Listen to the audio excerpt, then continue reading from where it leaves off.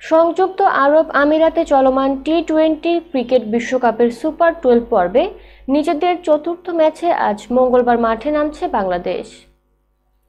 বাংলাদেশ সময় বিকেল চারটায় আবুধাবিতে শুরু হবে এই ম্যাচটি। হাঁটতে হাঁটতে বাংলাদেশ এখন খাদের কিনারায়।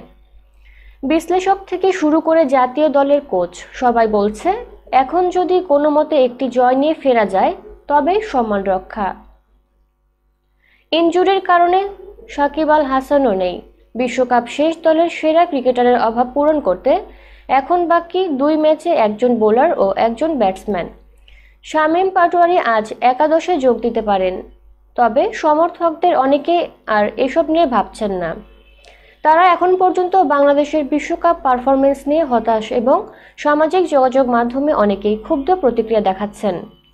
বিশ্লেষকদের মতে, দলে ভরাডুবির মূল কারণ চারটি। ওপেনিং জুটির ব্যর্থতা, মুশফিকুর রহিমের রিফা সুইপ ও স্কুপ, মুস্তাফিজুর ও সাইফুদ্দিনের খরচে ধারীন বোলিং এবং নয়টি ক্যাচ মিটস সুপ্রিয় দর্শক, এতক্ষণ আমাদের সাথে থাকার জন্য ধন্যবাদ। আমাদের সকল আপডেট পেতে বনলতা টিভির ফেসবুক পেজ লাইক এবং ইউটিউব চ্যানেলকে সাবস্ক্রাইব করুন। পরবর্তী সংবাদ দেখার আমন্ত্রণ জানিয়ে শেষ করছি। আল্লাহ হাফেজ। Thank you.